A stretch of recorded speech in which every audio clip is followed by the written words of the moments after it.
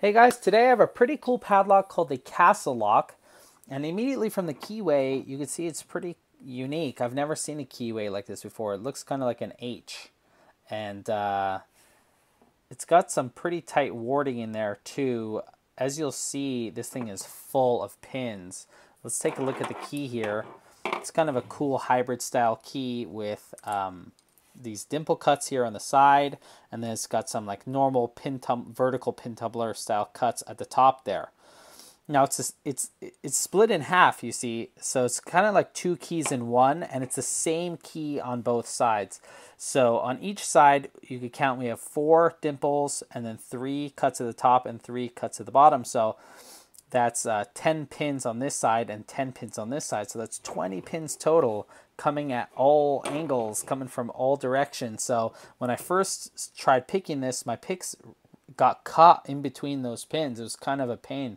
Uh, sticking some flags and hooks in there kind of get jammed up. So I had to play around with several of my picks to try to find the best way to uh, manipulate those pins. And I'll show you that in the next section. Uh, let me show you the packaging for this lock here.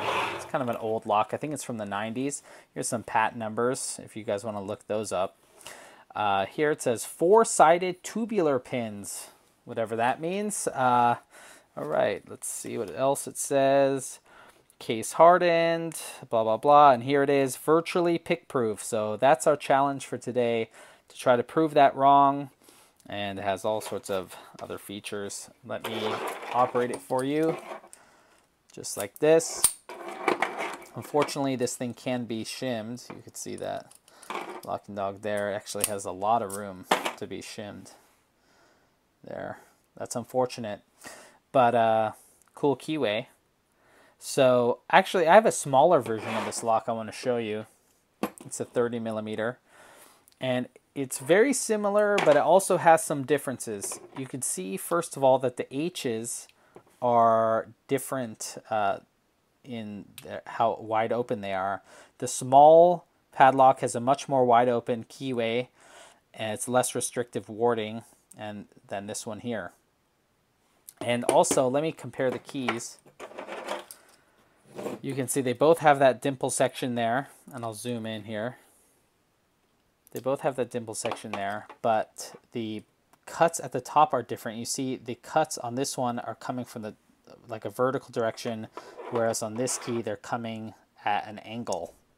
So uh, not sure why they did that, but these are, you know, like a more classic cut, and these are kind of like an angled dimple cut. We could see those angled dimple pins coming from the corners of the, the H on this small padlock here. And this one operates just like this. In fact, uh, another difference is this small padlock cannot be shimmed because it has a different style locking dog here. See, it's like a rotating disc. So um, I'm not sure why they would do that. Uh, but for if we compare them, I guess this big one would be harder to cut and harder to pick, but easier to shim. This one is easier to cut, cannot be shimmed, and it's easier to pick because you have much more room and you can see exactly what you're doing in there. So those are some interesting differences between the two sizes. I think I'm going to try to pick this one for you since it's harder. It's got a tighter keyway. And uh, I'll get my tools and I'll try to do that for you in the next section.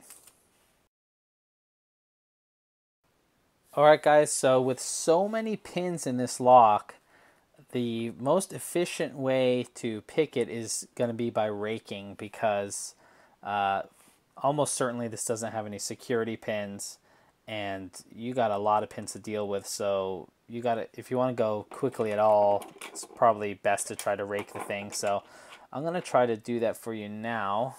Let me see if I could get a good angle. I'm gonna use this small pry bar here. Let's see uh, what about here? Yeah that's good. All right so um, let's get a good angle here. I'm going to be using this S rake, snake rake type deal that I got from Nozza 36 and I really love this rake. I don't know what it is about this rake, but uh, it just I've opened so many locks with it, and uh, I'm going to be using it here today because it's just thin enough and flat enough to move in and out of the keyway without getting stuck too bad. And so, if Nozza, if you're watching this, thank you again for such great picks. So, um, here we go. Uh, let's. I developed a method here in which I go in and then swipe out, right? So I know it's kind of like a specific action. So I'm gonna go in, try to in the between those those dimple pins there, and then I'll go pick a channel and slide out, right, to try to hit those. And so I'm gonna do that here on this side. Oops, do that again. This top section here, flip the pick around, do it on this side. Jammed in there. There you go. Swipe out. I, I'm pretty sure I've already made some progress because I felt the core turn already. So let's uh, let's try that. Make sure I didn't miss anything on this side. Okay. Then I'm going to go in on this side and swipe. Oops. Go in on this side and swipe out. Hopefully I'm not oversetting anything. Otherwise I'm going to have to start over. Get in there. See this keyway's kind of a pain. Okay, and then swipe this way. And then again and again. And uh, now I'm now when I feel confident I've touched everything that's binding here, I have to switch the tension because that is blocking. In fact, actually, let me. Yeah, that's blocking that. So let me switch wrenches here. See if I could do this without messing it up. See. There you go. Right, so let's continue. Where's my pick? All right. Sorry. All right, let's.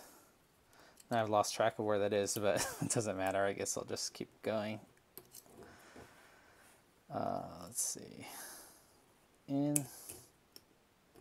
to the side and to the side. Oh, yeah, there it is. Yes. Nice. There it is, raked open. Excellent. The magic pick strikes again. Love this damn rake.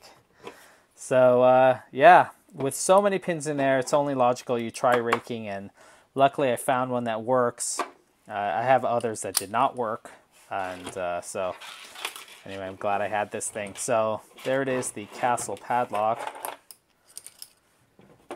Virtually pick proof, maybe not, um, but still cool to have for the collection because I've never seen such a oddly shaped keyway. So hope you liked the video. Uh, thanks for watching, and I'll see you guys next time.